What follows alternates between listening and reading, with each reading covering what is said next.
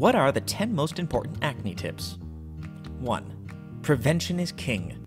The easiest and most effective way to fight acne and prevent the risk of long term scarring is prevention, starting early when the first pimple appears. 2.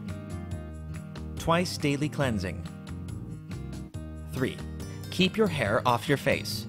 Shampoo your hair every day and avoid heavy hair mousses and greasy hair compounds. 4. Avoid greasy creams and sunscreens. 5. Avoid fluorinated toothpaste.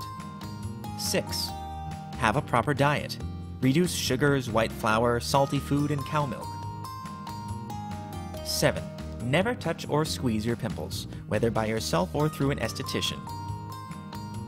8. Start early with nightly topical applications of low percentage benzoyl peroxide preparation.